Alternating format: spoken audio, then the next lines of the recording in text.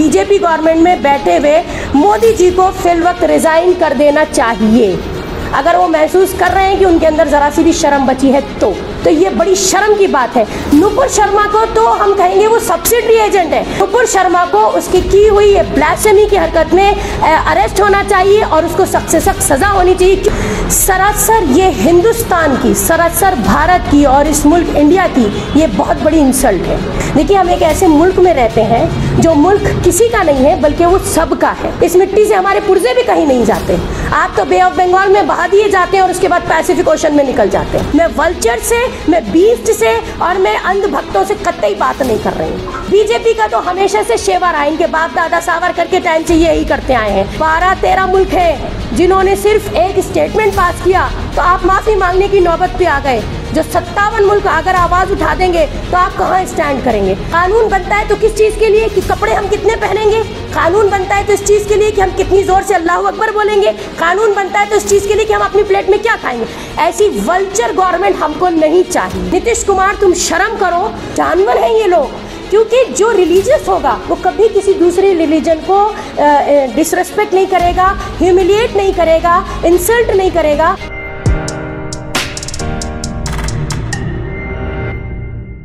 आज हम यहाँ पे वुमेन इंडिया मूवमेंट की तरफ़ से एक प्रेस मीट कर रहे हैं, जिसमें हमारा पहला एजेंडा जो है, वो आप सल्लल्लाहु अलैहि वसल्लम के ऊपर ब्लास्फेमी का है। जिसमें कि आप सभी जानते होंगे, चूँकि आजकल हम सभी सोशल मीडिया से जुड़े हुए हैं कि किस तरह से बीजेपी की एक स्पोक्स पर्सन नुपुर शर्मा ने आप सल्लल्लाहु अलैहि वसल्लम की खुलेआम एक नेशनल टीवी पर इंसल्ट की और जिसे मुसलमानों ने कतई करतई बर्दाश्त नहीं किया और उसके बाद से हिंदुस्तान का माहौल जो है वो बेानतहा गर्म हो गया। आज जब हम ब्लैशमी के ऊपर बात कर रहे हैं तो कुछ ऐसे इश्यूज़ हैं जिन पे हम समझते हैं कि हमारा बोलना बे ज़रूरी है। सबसे पहला इशू कि इस वक्त दुनिया के कुछ 12-14 ऐसे मुल्क हैं, जिन्होंने कि ये जब खबर उन तक पहुँची तो उन्होंने भी इसमें जो है अपना एहतजाज दर्ज करवाया। लेकिन उनका एहतजाज कुछ अलग तरीके का था। जैसे मिसाल के तौर पे, वेंकैया नायडू जो हमारे वाइस प्रेसिडेंट हैं, वो कतर में थे और वो एक डिनर पे इनवाइटेड थे। जैसे ही कतर की तरफ़ से इस ब्लैसमी के ख़िलाफ़ आवाज़ उठी तो उनका डिनर जो था वो कैंसिल कर गया। सरासर ये हिंदुस्तान की, सरासर भारत की और इस मुल्क इंडिया की ये बहुत बड़ी इंसल्ट है। अब इस इंसल्ट का जिम्मेदार कौन है? बीजेपी। वैसे आजकल बीजेपी ने अपना नाम बदल लिया है। उन्होंने इसे बीएफजी कर लिया है, भारतीय फ्रिंज पार्टी।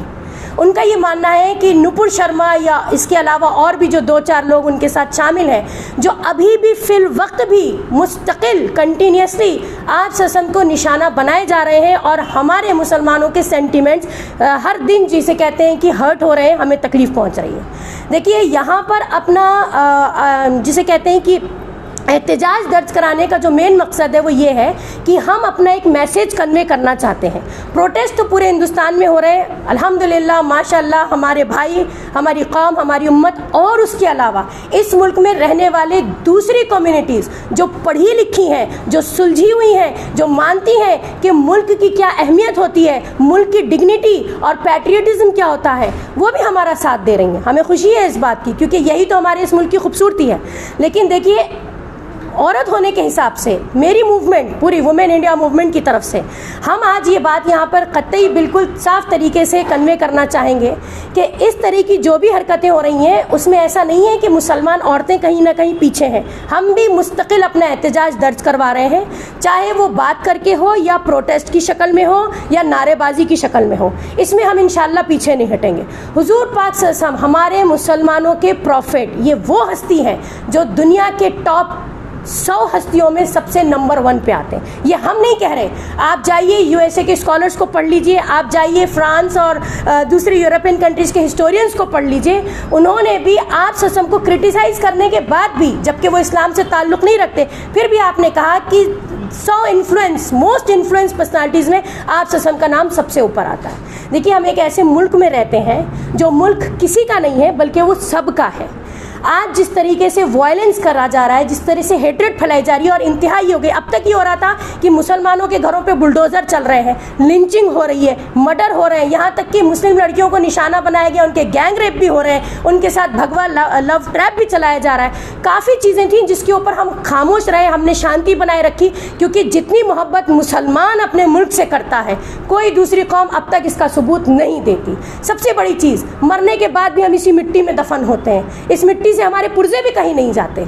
आप तो बे ऑफ़ बंगाल में बहा दिए जाते हैं और उसके बाद पैसिफिक ओशन में निकल जाते हैं। ये सबूत है कि मरने के बाद भी आप कितने जो है लॉयल है अपनी ज़मीन के साथ। बहरहाल तो सबसे पहले ये कि नुपुर शर्मा का जो बयान आया और उसके बाद जो बाहर की दुनिया में हड़कम मची, किस तरह मुस्लिम देशों ने इसके खिलाफ जो है अपने एहतजाज दर्ज करवाए, यहाँ तक कि बाइकआउट शुरू हो गया है इंडिया का बाहर के मुल्कों में। तो बींग ए इंडियन मुस्लिम हमें ये चीज़ तकलीफ़ दे रही है। हमारे कई ऐसे लाखों लोग हैं जो बाहर काम कर रहे हैं, जो पढ़ रहे हैं, वो निशाना बनाए जा रहे हैं। हम इकोनॉमिकली जिसे कहते हैं ऑलरेडी डूबे हुए थे और अब इसके बाद से, इस स्टेटमेंट के बाद से हमें और ज़्यादा परेशानियों का सामना करना पड़ा। तो ये बड़ी शर्म की बात है। नुपुर शर्मा को तो हम कहेंगे वो सब्सिडी एजेंट है।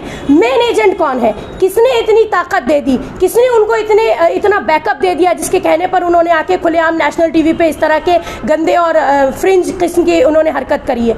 ऑब्वियसली बीजेपी पार्टी से ताल्लुक़ रखती है। बीजेपी का कहना है कि उन्होंने छः साल के लिए उनको जो है अपनी पार्टी से निकाल दिया। गलत। हम बिल्कुल नहीं मानते, हम बीजेपी पे किसी किसी तरीके से यकीन नहीं करते। ये सरासर झूठ है, ये अंदर अंदर सब मिले हुए हैं। आप देख लेना, जब ये मामला ठंडा हो जाएगा तो ये वही फ्रिंज एलिमेंट्स है जो वापस हमको जो है पार्लियामेंट में कहीं ना कहीं बैठे हुए नज़र आएँगे। तो हम इस बात से बिल्कुल इत्तेफाक नहीं करते और ये कह देना कि उसके ऊपर एफआईआर हुई है, ये काफ़ी नहीं है। हम सरासर सजा की मांग करते हैं। नुपुर शर्मा को उसकी की हुई ये ब्लैसमी की हरकत में अरेस्ट होना चाहिए और उसको सख्त से सख्त सजा होनी चाहिए, क्योंकि सिर्फ़ सिर्फ़ उसने एक एक कम्युनिटी को तकलीफ़ नहीं पहुंचाई है। पूरे मुल्क को, पूरी दुनिया के सामने शर्मिंदा किया है। इतनी शर्मिंदगी का हमको जो सामना करना पड़ा है, कायदे से बीजेपी गवर्नमेंट में बैठे हुए मोदी जी को फिल वक्त रिजाइन कर देना चाहिए। अगर वो महसूस कर रहे हैं कि उनके अंदर ज़रा सी भी शर्म बची है तो। एक ही।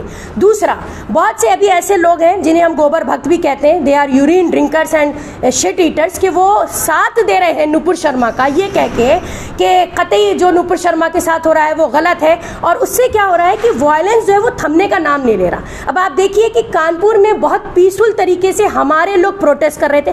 प्रोटेस्ट हमारा कॉन्स्टिट्यूशनल हक है। मरते दम तक हमसे ये कोई छीन नहीं सकता।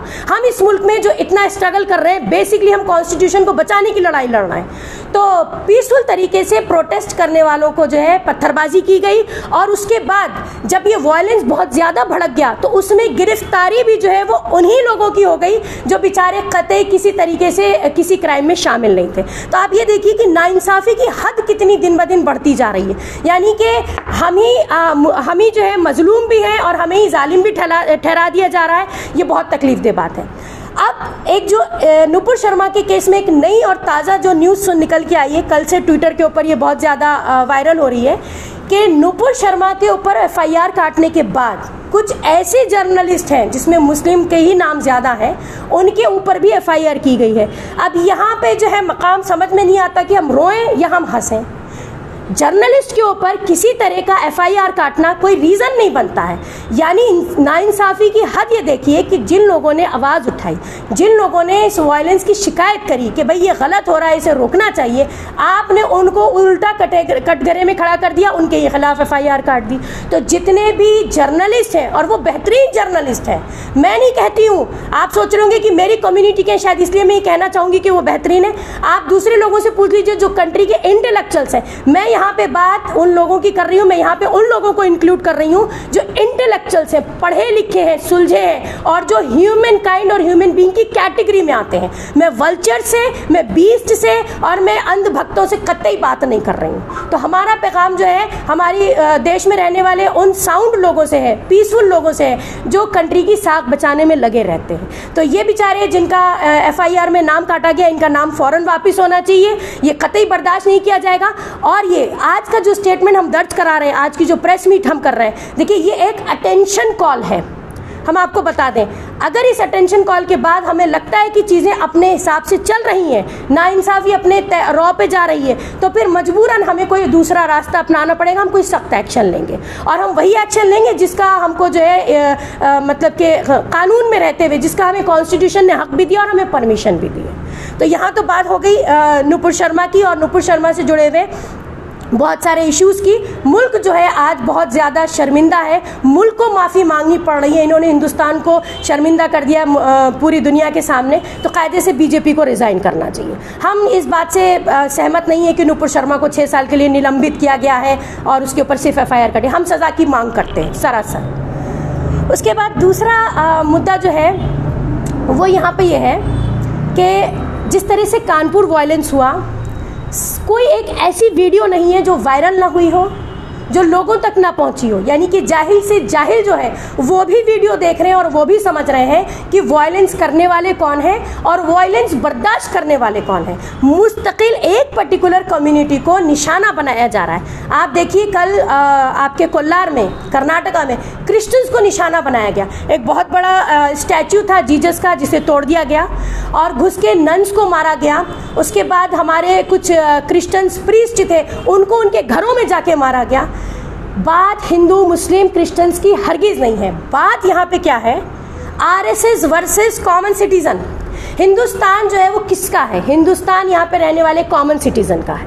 हिंदुस्तान किसका है? किसानों का है लेबरर्स का है, मजलूम औरतों का है। किसान या इस मुल्क में जिसने हिस्सा लिया इसको आज़ाद कराने के लिए। देखिए, हमारे नाम, हमें प्रूफ देने की ज़रूरत नहीं, हमें कागज़ दिखाने की ज़रूरत नहीं। हमारा नाम इंडिया गेट पर लिखा हुआ है। जिसको प्रूफ चाहिए, जाके इंडिया गेट पर नाम पढ़ ले। उसको पता चल जाएगा कि किसने कितना खून बहाया और किसने कितना पानी बहाया और किसने कितनी माफिया मांगी। बीजेपी का तो हमेशा से शेवा रहा इनके बाप दादा सावर करके टाइम से यही करते आए हैं। ये पहले जो है चाटुकारिता करते हैं, ये गद्दारी करते हैं, उसके बाद ये माफ़ी लेके चले आते हैं। मेरी समझ में नहीं आता आखिर हिंदुस्तान की जनता इनको कब तक माफ़ करती रहेगी? इनकी इस बेकार की हरकतों से, इनकी इस फजूल की हरकतों से गुंडागर्दी से गवर्नमेंट नहीं है, बल्कि हुंडी गवर्नमेंट हमें हमें कहना चाहिए, क्रिमिना क्रिमिनलाइज जो लोग जो है, वो सेफ्रोनाइजेशन के नाम पे जिस तरह का वायलेंस इस मुल्क में फैला रहे हैं। सोशली हम लोग डिस्टर्ब हो चुके हैं पीस ऑफ़ माइंड चला गया है बच्चियों की एजुकेशन छीन ली जा रही है, आम आदमी महफूज नहीं है, इज़्ज़त महफूज नहीं है, जान महफूज नहीं है आम आदमी के सर्वाइवल मुश्किल हो गया है। स्ट्रगल करना पड़ रहा अपने लाइवलीहुड के लिए। आखिर ये गवर्नमेंट कहाँ जा रही है? और आज जो सबसे बदतरीन दिन दिखाया कि दूसरी देशों को जब बाइकआउट शुरू हुआ तो आप माफ़ी भी मांग रहे हैं। अभी तो एक चीज़ देखिए बारह तेरह मुल्क हैं जिन्होंने सिर्फ़ एक स्टेटमेंट पास किया तो आप माफ़ी मांगने की नौबत पे आ गए। जो सत्तावन मुल्क अगर आवाज़ उठा देंगे तो आप कहाँ स्टैंड करेंगे? हम नहीं चाहते कि हमारा मुल्क सफ़र हो। हम चाहते हैं कि सरासर जिसने जुर्म किया है, वो बीजेपी है और सज़ा जो है, वो बीजेपी गवर्नमेंट को मिलनी चाहिए। इसके अलावा हमारा एक मुद्दा जो और है आज की बात आज यहाँ पे बात करने का, वो है कटिहार बिहार में कुछ दिनों पहले मायनूर नाम की एक बच्ची जिसके साथ गैंगरेप होता है। गैंगरेप होने के बाद बहुत ब्रूचल तरीके से उसका मर्डर किया जाता है। उसमें अब तक वाहिद एक इंसान अरेस्ट हुआ है। जिस घर में उस बच्ची के साथ ये ज्यादती हुई थी, वहाँ के एक दो शायद लोग हैं, उनमें कोई एक फीमेल मतलब के पर्सनालिटी भी हैं जिनको, जिनके खिलाफ एक्शन हुआ। एक्शन में क्या हुआ है कि सिर्फ़ बहुत ही टेम्परेरी और फॉर्मेलिटी के तौर पर एक गिरफ्तारी हुई है। देखिए, इस मुल्क में हर दिन क्राइम का रेट बढ़ता जा रहा है। हर 16 मिनट पर एक रेप होता है। हम माइनूर के लिए ही आवाज़ क्यों उठा रहे हैं? ऐसा नहीं है। हमने आज तक पिछले चार से पाँच सालों में हर उस बच्ची के लिए, हर उस औरत के लिए आवाज़ उठाई है। चाहे वो किसी भी कम्युनिटी से हो, किसी भी कास्ट से हो, किसी भी लैंग्वेज की बोलने वाली हो, आखिर हम इतने दरिंदे कैसे हो गए हैं? हम ऐसी अथॉरिटीज़ में रह रहे हैं, हम ऐसे स्टेट में रह रहे हैं, जहाँ पर बैठे हुए लोग पावर में जो है, उन्हें इंसानियत नाम से कोई मतलब ही नहीं रह गया है, उन्हें कोई फ़िक्र नहीं रह गई कि इस तरह के कानून बनाए जाए कि आखिर इसकी रोकथाम हो देखिए क्राइम होगा क्राइम हो रहा है। अब ये कहा जाता है, जो गोबर भक्त हैं, वो हमसे ये बहस करते हैं कि और भी मुल्कों में क्राइम होता है। ठीक है क्राइम होता है, लेकिन क्राइम को रोकने के लिए कानून भी तो बनता है। ये वो मुल्क हो गया है, जहाँ बिल्कुल जंगल राज है। 2014 से किसी भी क्राइम के लिए कोई नया कानून नहीं बना। कानून बनता है तो किस चीज़ के लिए कि कपड़े हम कितने पहनेंगे? कानून बनता है तो इस चीज़ के लिए कि हम कितनी ज़ोर से अल्लाह अकबर बोलेंगे? कानून बनता है तो इस चीज़ के लिए कि हम अपनी प्लेट में क्या खाएँगे? शर्म आनी चाहिए बीजेपी गवर्नमेंट को मुल्क को कहाँ लाके उन्होंने खड़ा कर दिया है? बहुत अफसोस होता है। हमारा दिल खून के आँसू रो रहा है और हमें तो ये समझ में नहीं आ रहा जब हमारा प्रेजेंट इतना बर्बाद हो चुका है तो हमारा फ्यूचर क्या रह जाएगा? इस गवर्नमेंट को पावर से हटाना बहुत ज़्यादा ज़रूरी हो गया है। ऐसी वल्चर गवर्नमेंट हमको नहीं चाहिए, कतई नहीं चाहिए। बहरहाल, उस माहिनूर के लिए अभी तक हमको कोई सेटिस्फैक्ट्री एक्शन सुनने में नहीं आया।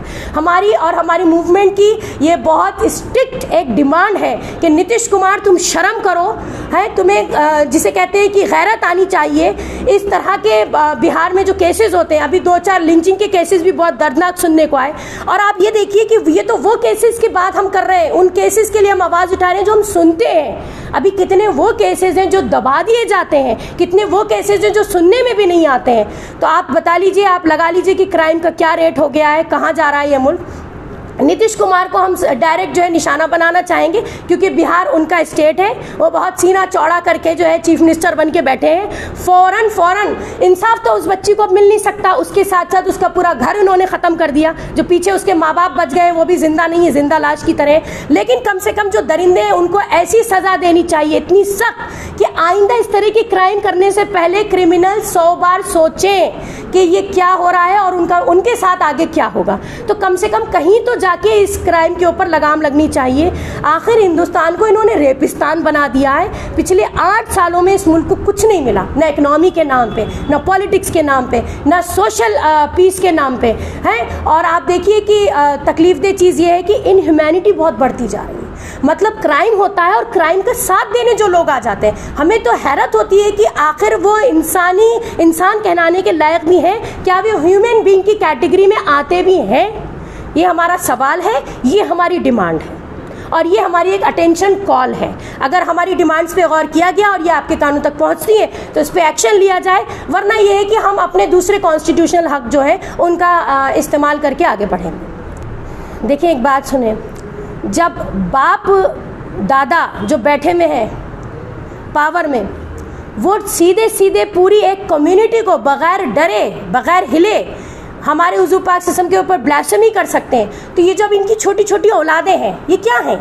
ये राजा सिंह टाइप के लोग जो ये क्या हैं? भाई ज़ाहिर सी बात है इनके बाप दादा तो दिल्ली में बैठे हुए ये जो बच्चे आ, आ गए हैं छोटे छोटे इनको मौका मिल गया है। ये सब कुछ जो कुछ भी हो रहा है चाहे वो ज्ञान व्यापी मस्जिद को ले लीजिए आप चाहे वो आप अजमेर की दरगाह को ले लीजिए ये लोग क्या है? ये खुद कोई रिलीजन में बिलीव करने वाले लोग नहीं मैं आपको बताऊँ सुनिए। अगर आप हिस्ट्री की किताब उठा लें स्टेट की किताब स्टेट बोर्ड की किताब उठा लें ज़्यादा दूर जाने की नहीं आपकी कर्नाटका की नाइन टेंथ की स्टेट बोर्ड की किताब उठा लें एट की किताब उठा लें। तो मैं आ, आपको बताऊँ दयानंद सरस्वती राजा राम मोहन ऐसे कितने सारे रिलीजियस रिफॉर्मर सोशल रिफॉर्मर्स हैं जिन्होंने सिर्फ़ एक ही बात प्रीच की इंडिया में कि give respect do respect for all religions ठीक है? ये अपने आप को कहते हैं ना, हम आर्यन समाज हैं, हम ब्रह्मो समाज हैं। ज़रा उस समाज की टीचिंग्स को पढ़ लें। मैं आज ही ये चैप्टर स्कूल में पढ़ा के आ रही हूँ आठवीं के बच्चों को। इत्तेफाक की बात है। उसमें उन लोगों ने एक ही प्रीच किया है, एक ही टीचिंग दी है कि जब तक हम दूसरे रिलीजन्स को रिस्पेक्ट नहीं देंगे, हम खुद अपने आप को रिलीजियस नहीं कह सकते। अब ये ऑरेंज कलर का वो भगवा पहन के या ऑरेंज कलर का एक झंडा लेके, अगर आप लोग समझते हैं कि ये किसी पर्टिकुलर कम्युनिटी के तो नहीं, ये किसी कम्युनिटी के नहीं है। ये सब वाइल्ड लाइफ है। ये सब जिसे कहते हैं जानवर हैं ये लोग। क्योंकि जो रिलीजियस होगा, वो कभी किसी दूसरे रिलीजन को डिसरेस्पेक्ट नहीं करेगा ह्यूमिलिएट नहीं करेगा इंसल्ट नहीं करेगा। वो इंसानी हक को समझेगा। उसे पता होगा कि दूसरे रिलीजन जो है बेसिकली सारे रिलीजन जो रिलीजन है क्या? वो सब कहते हैं बिलीव इन वन गॉड अब तरीका अलग अलग है मानने का। कुछ कहते हैं कि इस मूर्ति में उनको भगवान नज़र आता है। बहुत अच्छी बात है वो, उस मूर्ति को मानते हैं। कुछ कहते हैं उनको जीजस में नज़र आता है तो वो जीजस को मानते हैं। हम कहते हैं कि हमारे रसूल जो हमें पैगाम देके गए, हम उसको मानते हैं, हमें उसमें खुदा नज़र आता है। हम उसको मानते हैं। कोई भी अपनी जगह पर गलत नहीं है। रिलीजन तो सारे खूबसूरत होते हैं। बदसूरत ये कम्युनिटी है, ये चंद मुट्ठी भर, ये आर एस एस भगवादारी बजरंग दल जो आज बीजेपी के थ्रू आके हमारी हुकूमत में बैठ गए हैं और इन्होंने मुल्क को पूरी तरीके से डोमिनेट कर लिया है, किस वजह से डोमिनेट कर लिया है कि इन्होंने जहनों को, जो कच्चे जहन है, आने वाली जो यंग जनरेशन है, उनके हाथ से पेन ले लिया और उनको तलवारें दे दी।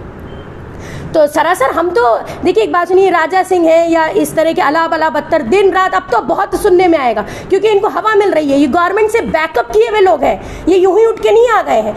तो इनको लगता है कि इनके पीछे बड़ा पावर है और उसमें ये जोश में आके जो है अपने होश खो रहे हैं, कुछ भी बोल रहे हैं। तो इनको भी इनकी ड्यू जगह दिखा दी जाएगी। अभी नुपुर शर्मा के साथ जो हुआ है, अभी तो हुआ नहीं है, अभी तो सिर्फ़ चल रहा है मामला कि क्या होगा। कल हमारे जो दोवल हैं, जो डिफेंस के हमारे फॉरेन कंट्रीज़ में जो रिप्रेजेंटेटिव हैं, उन्होंने भी कह दिया है कि जब वो फॉरेन कंट्रीज़ गए तो उनको जिस तरह की शर्मिंदगी का सामना करना पड़ा।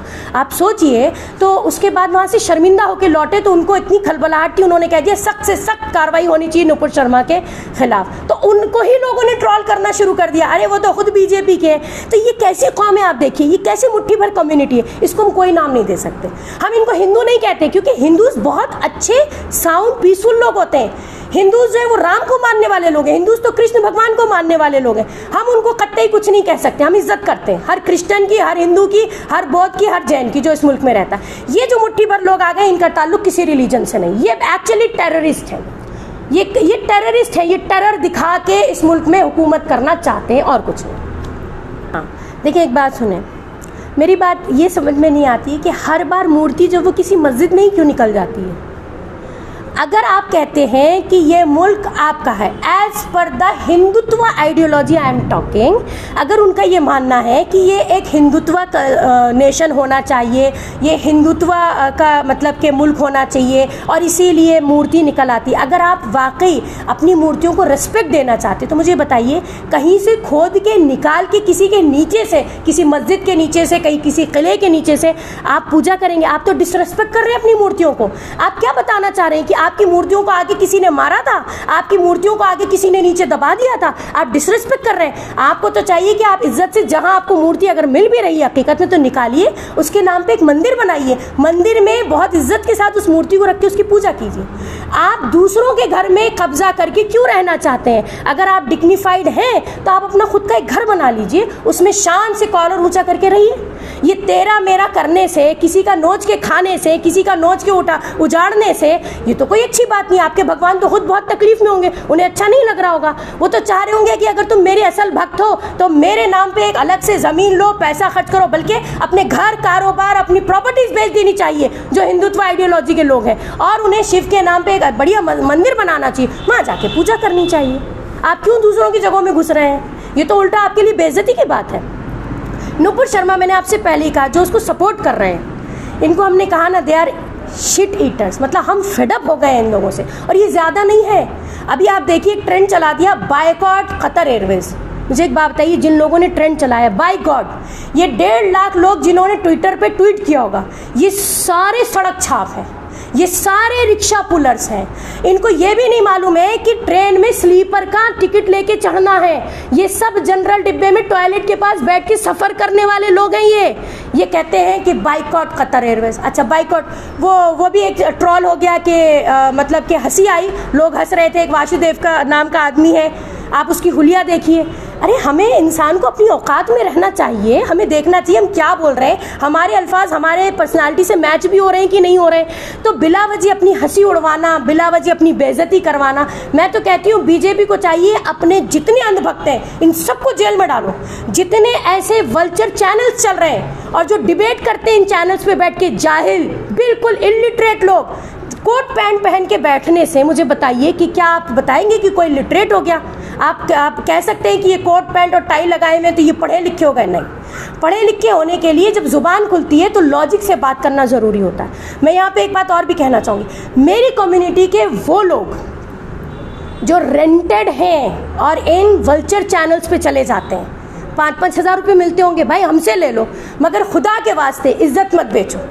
मैं ये मैसेज देना चाहूँगी क्लियरली कि जो लोग ऐसे चैनल्स पे, जो मालूम है कि कम्युनल चैनल है, हमें मालूम है कि उन्हें रेंट पे लेकर वायलेंस फैलाने का काम किया जा रहा है, उन चैनल्स पे हमारी कम्युनिटी के, हमारे से मतलब जो भी पढ़े लिखे लोग हैं, जो अपने आप को स्कॉलर कहते हैं सो कॉल्ड स्कॉलर वो जाके बैठ जाते हैं। वहाँ पे उनकी बेइज्जती होती है, उनको बोलने नहीं दिया जाता है। इस तरह के डिबेट से क्या होता है, क्योंकि हर घर में टीवी देखा जाता है। टीवी पे जब हम इस तरह के चैनल्स में डिबेट देखते हैं तो ये हेट्रेड फैलाने का काम हो रहा है। ये लोगों के माइंड को पोल्यूट करने का काम हो रहा है। तो मैं समझती हूँ कि सबसे पहले तो जो इंटेलेक्चुअल्स हैं, उनको सब सबसे पहले बाइकआउट करना चाहिए इन वल्चर चैनल्स का, कि कतई वो नहीं जाएँगे, कोई डिबेट में वो पार्टिसिपेट नहीं करेंगे। आधी शांति तो वहीं बन जाएगी, आप देखना। क्योंकि जो ये बिके हुए जो जर्नलिस्ट ये एडिटर्स या जो बैठे रहते हैं चैनल चलाने वाले, जब उनकी दुकान बंद होगी तो आप देखना एक सन्नाटा छा जाएगा मुल्क में, एक बड़ी शांति हो जाएगी। सबसे पहले इनको जो है रोकना वो बहुत ज़रूरी